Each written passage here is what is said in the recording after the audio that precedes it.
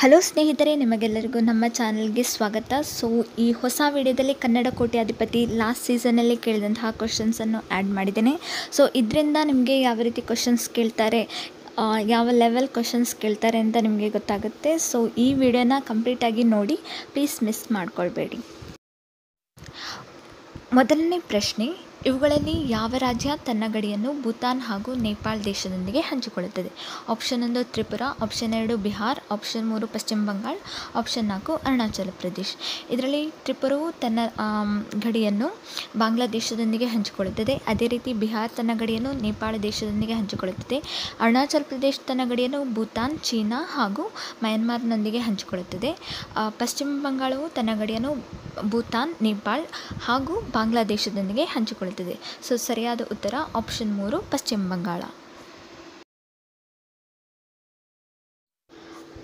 ಎರಡನೇ ಕ್ವಶನ್, ಈ ಜುಲೈ ಎರಡು ಸಾವಿರದ ಹದಿನೆಂಟಕ್ಕೆ ಅನ್ವಯವಾಗುವಂತೆ ಇವರಲ್ಲಿ ಯಾರ ಹೆಸರನ್ನು ಭಾರತದ ರಾಷ್ಟ್ರೀಯ ಉದ್ಯಾನವನಗಳಿಗೆ ಇಡಲಾಗಿಲ್ಲ?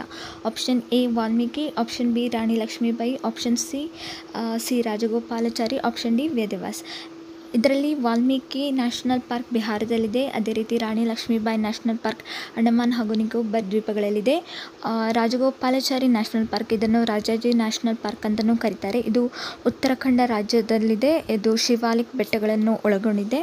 ಸೊ ಸರಿಯಾದ ಉತ್ತರ ಆಪ್ಷನ್ ಡಿ, ವೇದವ್ಯಾಸ್. ವೇದವ್ಯಾಸ್ ಹೆಸರಿನ ಯಾವ, ಹೆಸರನ್ನು ಯಾವುದೇ ರಾಷ್ಟ್ರೀಯ ಉದ್ಯಾನವನಗಳಿಗೆ ಇಡಲಾಗಿಲ್ಲ. ಮೂರನೇ ಕ್ವೆಶನ್, ಎರಡು ಸಾವಿರದ ಹದಿನೆಂಟನೇ ಸಾಲಿನ ಕರ್ನಾಟಕ ಪ್ರೀಮಿಯರ್ ಲೀಗ್ನ ಬ್ರ್ಯಾಂಡ್ ಅಂಬಾಸಿಡರ್ ಯಾರು? ಆಪ್ಷನ್ ಒಂದು ರಚಿತಾರಾಮ್ ಆಪ್ಷನ್ ಎರಡು, ರಾಗಿಣಿ ದ್ವಿವೇದಿ. ಆಪ್ಷನ್ ಮೂರು, ದಿಗಂತ್ ಹಾಗೂ ಆಪ್ಷನ್ ನಾಲ್ಕು, ಪುನೀತ್ ರಾಜ್ಕುಮಾರ್. ಇದರಲ್ಲಿ ಸರಿಯಾದ ಉತ್ತರ, ಆಪ್ಷನ್ ಎರಡು, ರಾಗಿಣಿ ದ್ವಿವೇದಿ.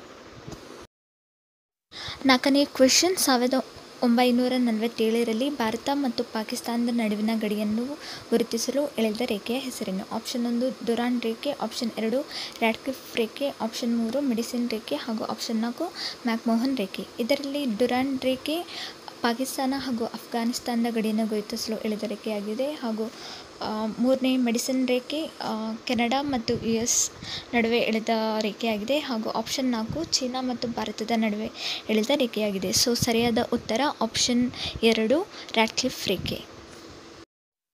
ಐದನೇ ಪ್ರಶ್ನೆ, ಸಾವಿರದ ಒಂಬೈನೂರ ತೊಂಬತ್ತರಲ್ಲಿ ನಾಸಾ ಉಡಾವಣೆ ಮಾಡಿದ ಬಾಹ್ಯಾಕಾಶ ದೂರದರ್ಶಕಕ್ಕೆ ಇಲ್ಲಿನ ಯಾವ ವಿಜ್ಞಾನಿಯ ಹೆಸರನ್ನು ಇಡಲಾಗಿದೆ? ಆಪ್ಷನ್ ಒಂದು, ಆಲ್ಬರ್ಟ್ ಐನ್ಸ್ಟೈನ್, ಆಪ್ಷನ್ ಎರಡು, ಸ್ಟೀಫನ್ ಹಾಕಿಂಗ್, ಆಪ್ಷನ್ ಮೂರು, ಎಡ್ವಿನ್ ಹಬಲ್ ಹಾಗೂ ಆಪ್ಷನ್ ನಾಲ್ಕು, ಕಾಲ್ ನಾಗನ್.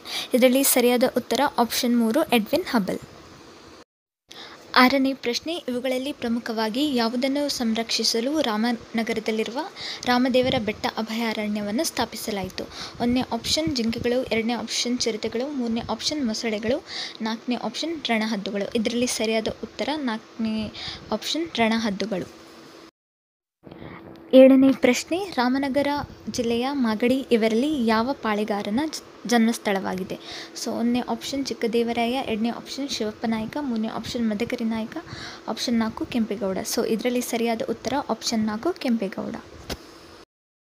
ಎಂಟನೇ ಪ್ರಶ್ನೆ, ಇವುಗಳಲ್ಲಿ ಯಾವುದು ಚಿಕ್ಕಮಗಳೂರಿನ ಗಂಗಾ ಮೂಲದಲ್ಲಿ ಹುಟ್ಟುವ ನದಿಯಲ್ಲ ಆಪ್ಷನ್ ಒಂದು ತುಂಗ ಆಪ್ಷನ್ ಎರಡು ಶರಾವತಿ ಆಪ್ಷನ್ ಮೂರು ನೇತ್ರಾವತಿ ಆಪ್ಷನ್ ನಾಲ್ಕು ಭದ್ರಾ. ಇದರಲ್ಲಿ ಶರಾವತಿ ನದಿಯ ಉಗಮ ಸ್ಥಾನ ಅಂಬುತೀರ್ಥವಾಗಿದೆ. ಸೊ ಸರಿಯಾದ ಉತ್ತರ ಆಪ್ಷನ್ ಎರಡು ಶರಾವತಿ. ಒಂಬತ್ತನೇ ಪ್ರಶ್ನೆ, ಸಿ ವಿ ರಾಮನ್ ಮತ್ತು A P J Abdul Kalam ನಂತರ ಭಾರತ ರತ್ನ ಪಡೆದ ಮೂರನೇ ವಿಜ್ಞಾನಿ ಯಾರು? ಆಪ್ಷನ್ ಒಂದು ಸತೀಶ್ ಧವನ್ ಆಪ್ಷನ್ ಎರಡು C N R Rao option ಮೂರು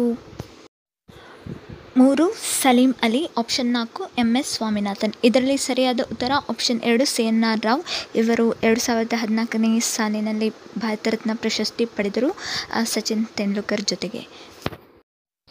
ಹನ್ನೊಂದನೇ ಪ್ರಶ್ನೆ, ಯಾವ ಸ್ಥಳದಲ್ಲಿ ಟಿಬೇಟಿಯನ್ ಶಿಬಿರಗಳು ಮತ್ತು ಸ್ಥಳೀಯವಾಗಿ ಸ್ವರ್ಣ ಮಂದಿರ ಎಂದು ಕರೆಯುವ ಬೌದ್ಧ ಮಠವು ಸ್ಥಾಪಿತವಾಗಿದೆ? ಒಂದನೇ ಆಪ್ಷನ್ ಕುಶಾಲನಗರ, ಎರಡನೇ ಆಪ್ಷನ್ ಸಕಲೇಶ್ಪುರ, ಮೂರನೇ ಆಪ್ಷನ್ ಬೈಲಕುಪ್ಪೆ ನಾಲ್ಕನೇ ಆಪ್ಷನ್ ವಿರಾಜಪೇಟೆ.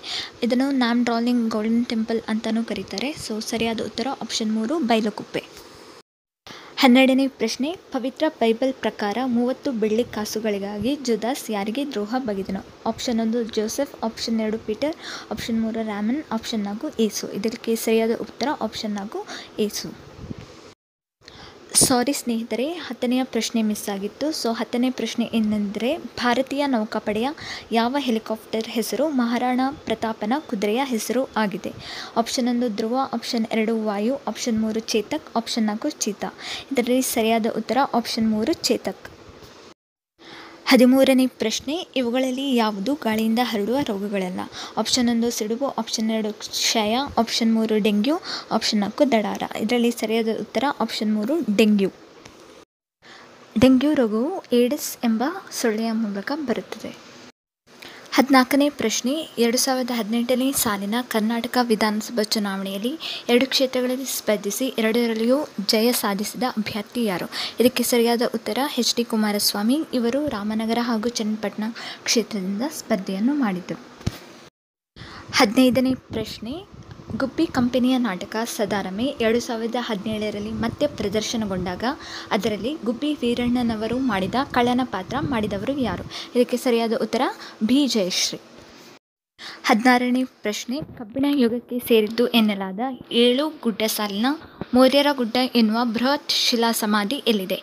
ಆಪ್ಷನ್ಸ್ ಒಂದು, ಹಿರೇಬೆಣಕಲ್, ಆಪ್ಷನ್ ಎರಡು, ಟಿ. ನರಸೀಪುರ, ಆಪ್ಷನ್ ಮೂರು, ಬ್ರಹ್ಮಗಿರಿ, ಆಪ್ಷನ್ ನಾಲ್ಕು ಮಾಸ್ಕಿ ಇದಕ್ಕೆ ಸರಿಯಾದ ಉತ್ತರ, ಆಪ್ಷನ್ ಒಂದು, ಹಿರೇಬೆಣಕಲ್.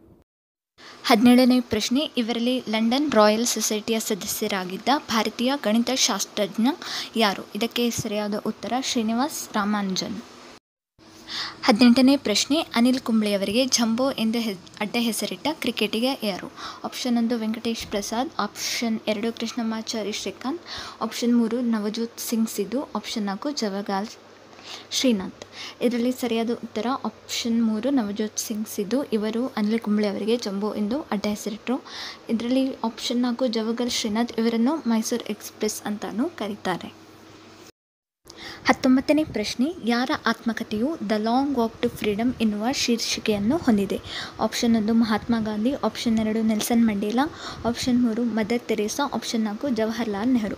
ಇವರಲ್ಲಿ ಮಹಾತ್ಮ ಗಾಂಧಿ ಅವರ ಆತ್ಮಕಥೆಯ ಹೆಸರು ಮೈ ಎಕ್ಸ್ಪೆರಿಮೆಂಟ್ಸ್ ವಿತ್ ಟ್ರುತ್ ಅದೇ ರೀತಿ ಜವಾಹರ್ಲಾಲ್ ಅವರ ಆತ್ಮಕಥೆಯ ಹೆಸರು ಆ್ಯನ್ ಆಟೋಬಯೋಗ್ರಫಿ ಸೊ ಸರಿಯಾದ ಉತ್ತರ, ಆಪ್ಷನ್ ಎರಡು, ನೆಲ್ಸನ್ ಮಂಡೇಲಾ. ಇವರ ಆತ್ಮಕಥೆಯು the long walk to freedom ಎನ್ನುವ ಶೀರ್ಷಿಕೆಯನ್ನು ಹೊಂದಿದೆ.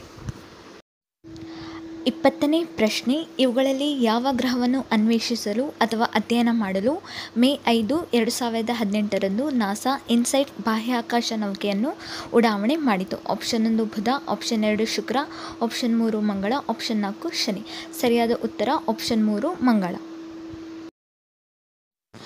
ಇಪ್ಪತ್ತೊಂದನೇ ಪ್ರಶ್ನೆ, ಮಹಿಳಾ ಸಬಲೀಕರಣಕ್ಕೆ ಸೇವೆ ಸಲ್ಲಿಸಿದ್ದಕ್ಕಾಗಿ ಮಹಿಳೆ ಮತ್ತು ಪುರುಷರಿಬ್ಬರಿಗೂ ಕೊಡುವ ಸ್ತ್ರೀಶಕ್ತಿ ಪುರಸ್ಕಾರ ಯಾವುದು? ಆಪ್ಷನ್ ಒಂದು, ರಾಣಿ ಲಕ್ಷ್ಮೀಬಾಯಿ ಪ್ರಶಸ್ತಿ. ಆಪ್ಷನ್ ಎರಡು, ಮಾತಾ ಜೀಜಾಬಾಯಿ ಪ್ರಶಸ್ತಿ. ಆಪ್ಷನ್ ಮೂರು, ರಾಣಿ ರುದ್ರಮ್ಮ ದೇವಿ ಪ್ರಶಸ್ತಿ. ಆಪ್ಷನ್ ನಾಲ್ಕು, ದೇವಿ ಅಹಲ್ಯಾಬಾಯಿ ಹೋಲ್ಕರ್ ಪ್ರಶಸ್ತಿ. ಇದರಲ್ಲಿ ಸರಿಯಾದ ಉತ್ತರ, ರಾಣಿ ರುದ್ರಮ್ಮ ದೇವಿ ಪ್ರಶಸ್ತಿ. ಇದನ್ನು ಮಹಿಳಾ ಸಬಲೀಕರಣಕ್ಕೆ ಸೇವೆ ಸಲ್ಲಿಸಿದ್ದಕ್ಕಾಗಿ ಮಹಿಳೆ ಅಥವಾ ಪುರುಷರಿಗೂ ಕೊಡುತ್ತಾರೆ. ಇಪ್ಪತ್ತೆರಡನೇ ಪ್ರಶ್ನೆ, ಇವುಗಳಲ್ಲಿ ಯಾವುದು ಸಾವಿರದ ಒಂಬೈನೂರ ನಲವತ್ತೇಳರಲ್ಲಿ ಸ್ವತಂತ್ರ ಭಾರತ ಪರಿಚಯಿಸಿದ ಸ್ವಾತಂತ್ರ್ಯ ಸರಣಿಯ ಮೂರು ಅಂಚೆ ಚೀಟಿಗಳ ಭಾಗವಾಗಿಲ್ಲ? ಆಪ್ಷನ್ ಒಂದು, ಅಶೋಕ ಸ್ತಂಭ. ಆಪ್ಷನ್ ಎರಡು, ಚರಕ. ಆಪ್ಷನ್ ಮೂರು, ರಾಷ್ಟ್ರಧ್ವಜ. ಆಪ್ಷನ್ ನಾಲ್ಕು, ಡಗ್ಲಸ್ ಡಿ ಸಿ ನಾಲ್ಕು, ವಿಮಾನ. ಅಶೋಕ ಸ್ತಂಭ, ಭಾರತದ ರಾಷ್ಟ್ರಧ್ವಜ ಹಾಗೆಯೇ ಡಗ್ಲಸ್ ಫೋರ್, ವಿಮಾನ ಈ ಮೂರು ಅಂಚೆ ಚೀಟಿಗಳನ್ನು ಭಾರತವು ಸ್ವಾತಂತ್ರ್ಯ ಸರಣಿಯ ಮೂಲಕ ಪರಿಚಯಿಸಿತು ಹಾಗಾಗಿ ಎರಡನೇ ಆಪ್ಷನ್ ಚರಕ ಈ ಪ್ರಶ್ನೆಗೆ ಸರಿಯಾದ ಉತ್ತರ.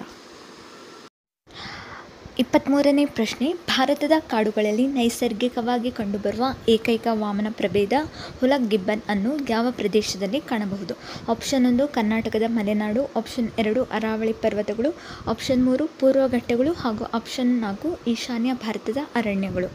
ಸೊ ಇದಕ್ಕೆ ಸರಿಯಾದ ಉತ್ತರ, ಈಶಾನ್ಯ ಭಾರತದ ಅರಣ್ಯಗಳು. ಇದು ಹುಲ್ಲ ಗಿಬ್ಬನ್ ಇದರ ಚಿತ್ರವಾಗಿದೆ. ಇವುಗಳು ಭಾರತದ ಈಶಾನ್ಯ ಪ್ರದೇಶದಲ್ಲಿ ಕಂಡುಬರುತ್ತದೆ.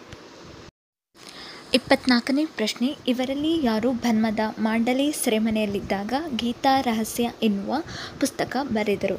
ಆಪ್ಷನ್ ಒಂದು, ಲಾಲಾ ರಜಪತ್ ರಾಯ್. ಆಪ್ಷನ್ ಎರಡು, ಬಿಪಿನ್ ಚಂದ್ರಪಾಲ್. ಆಪ್ಷನ್ ಮೂರು, ಬಾಲಗಂಗಾಧರ್ ತಿಲಕ್. ಆಪ್ಷನ್ ನಾಲ್ಕು ಅರಬಿಂದೋ ಸೊ ಸರಿಯಾದ ಉತ್ತರ, ಆಪ್ಷನ್ ಮೂರು, ಬಾಲಗಂಗಾಧರ್ ತಿಲಕ್. ಇವರು ಬರ್ಮಾದ ಮಾಂಡಲಿ ಸೆರೆಮನೆಯಲ್ಲಿದ್ದಾಗ ಗೀತಾ ರಹಸ್ಯ ಎನ್ನುವ ಪುಸ್ತಕವನ್ನು ಬರೆದರು. ಇಪ್ಪತ್ತೈದನೇ ಹಾಗೂ ಕೊನೆಯ ಪ್ರಶ್ನೆ ಪಾರ್ಟ್ ಒನ್ ಸೀರೀಸಲ್ಲಿ ಮಹಾಭಾರತದ ಪ್ರಕಾರ ದ್ರೌಪದಿಯ ವಸ್ತ್ರಾಪಹರಣವನ್ನು ವಿರೋಧಿಸಿದ ಏಕೈಕ ವ್ಯಕ್ತಿ ಯಾರು? ಆಪ್ಷನ್ ಒಂದು ಕರ್ಣ ಆಪ್ಷನ್ ಎರಡು ವಿಕರ್ಣ ಆಪ್ಷನ್ ಮೂರು ಬಿದುರ ಆಪ್ಷನ್ ನಾಲ್ಕು ಧೃತರಾಷ್ಟ್ರ.